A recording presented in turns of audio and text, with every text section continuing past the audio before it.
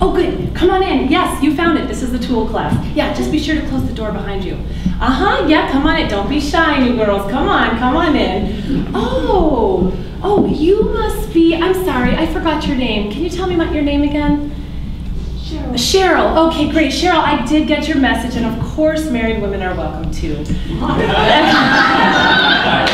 Everybody, this is Cheryl. She's new, and oh, and newly married. Let's all say hi to Cheryl. Hi, Cheryl. Oh, great.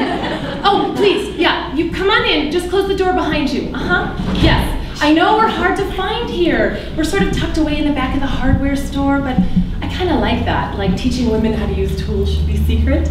well, I really want to serve red wine and cheese with this class, but apparently OSHA has some issues with serving alcohol and mixing it with power tools.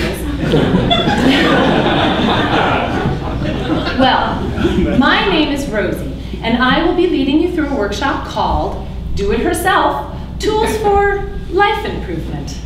You can take my class as many times as you need to. It's okay, because each week I present a new tool or trick of the trade, and I never do the same thing twice. Gotta keep the material fresh and exciting. well, we get started each week with a tool challenge. Now, I promise not to throw some boards at you and, uh, and a staple gun and say, build me a birdhouse or I'm kicking you off the island. Okay, that's just some tool humor. But really, think to yourself, what is this? Say it out loud if you know. What should we call it? What? Oh, you mean a cranky knobber? Well, I'm not exactly sure how to use it, but I know it's important, and I like the sound it makes.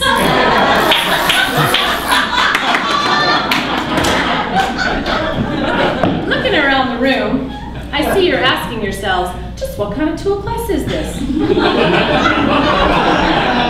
wanted to learn about tools? Well, I'm going to teach you how to get the job done.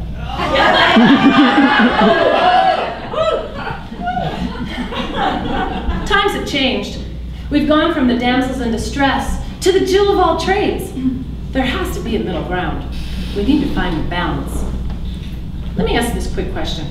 How many of you know how to make lasagna? Raise your hands. Okay, we'll get to that later. but first it's time to take stock of our assets. We are strong, confident, educated, modern women, aren't we? Yeah! Yeah! yeah. Even women with low voices can be confident. We're good at everything we do. Why be good at this too? If you're good at everything, you'll be doing everything. Some of us have families and we practically run the whole shebang at home too, huh? Yeah. We could call a handyman, but Joe the plumber is kind of expensive. and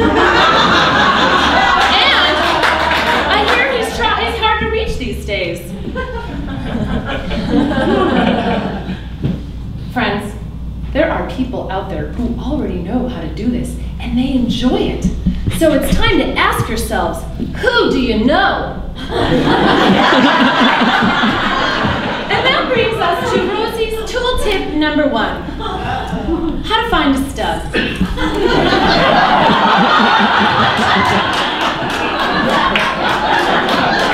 now he has to be handsy. Don't mess around with Mr. Whamsy Pamsy. He'll only screw it up and you'll have wasted your time making a good lasagna. Here's the trick. Hand him one of these.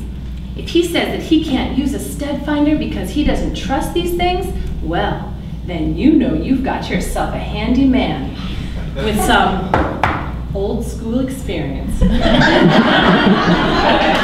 that brings me to Rosie's tool tip number two. The door's closed, right? the bait and switch. Now, it is important to know how to handle your power tools because you don't want him to be suspicious.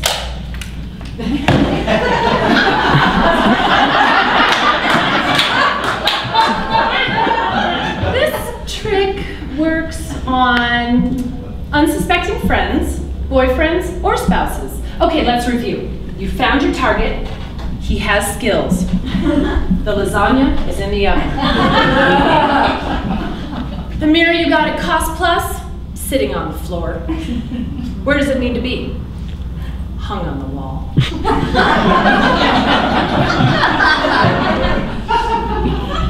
Now, it's time to present the bait.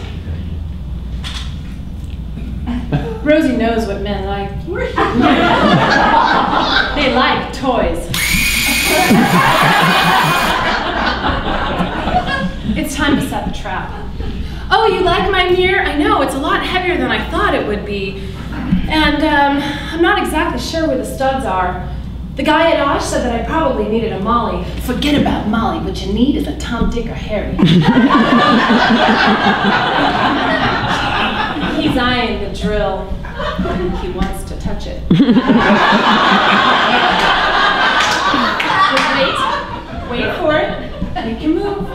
Position yourself between him and the drill. Work for it. Be patient. The drill's a little heavy for your feminist hand. You put it down on the counter. Now, the switch.